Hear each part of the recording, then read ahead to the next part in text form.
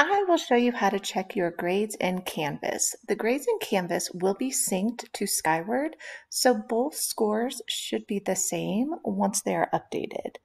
So you're going to, once you're logged into an account, you're going to pick a course. And then on the left menu, you're going to go to grades, and then you're going to have some options.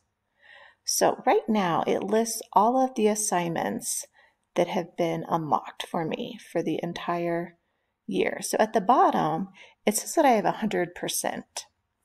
However, if you look at the top, you have some options. So right now, it's only calculating my grade based on what the teacher has graded.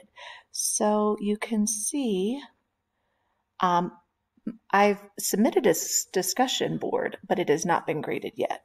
So if I uncheck this, then that score will click on everything that's available for me to do that has not been graded or not even completed yet. So that needs to be graded and I have not turned in this assignment since there's a dash, okay?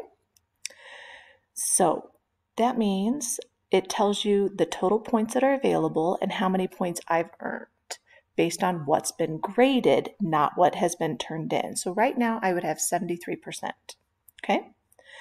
Another option that you have is we can also do, it's called what if scores. So a lot of students want to know like, what happens if I get a 50 on this? So we're going to go down to something that I have not submitted, which is, and usually everybody wants to do a test or quizzes, but I'm just going to do it on this assignment. So let's just say I got 10 points. So right now I have a 73%. So if I say I get half the points, then that would bring me up to an 86. And you can do that. Notice there's going to be a blue arrow there that shows that you are putting in that fake grade. And you can do that for any assignment that you have not submitted um, to change it.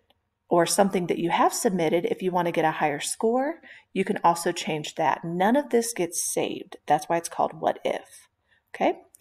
So when you're done, you can just close out of this or you can actually go back, see how it says this is not your official score because you put in a grade that you really didn't earn.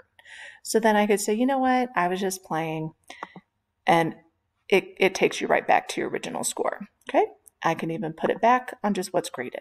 So you cannot mess up your grades, but you can test to see what you have, what's been graded, and what you could get in the future.